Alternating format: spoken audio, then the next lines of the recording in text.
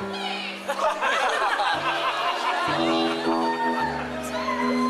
you.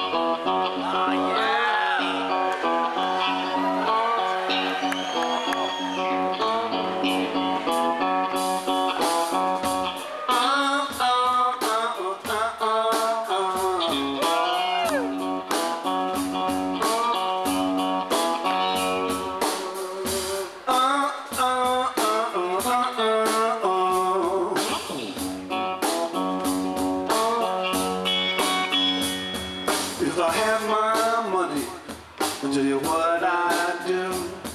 I would go downtown and buy a Burger or two. The gal I love stole her from my friend. The fuck got lucky, stole her back again. I'm gonna buy me a Mercury, baby.